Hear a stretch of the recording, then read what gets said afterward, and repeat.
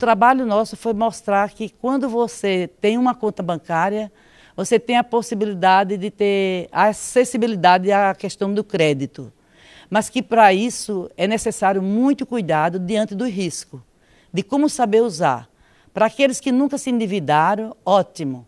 Continuar se prevenindo através dessas atitudes que nós estamos interessados que aconteça com os consumidores que receberam essa orientação. E para aqueles que estavam super endividados, também foi demonstrado que não se paga dívida chorando, colocando a cabeça no travesseiro, e sim procurar os caminhos viáveis para a solução daquele, daquela situação.